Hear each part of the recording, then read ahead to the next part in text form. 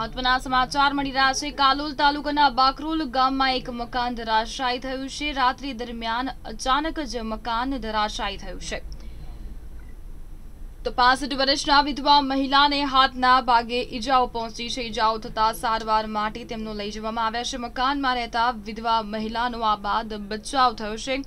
જે પ્રમાણે હાલ ચોમાસાની સિઝન શરૂ થઈ ચૂકી છે.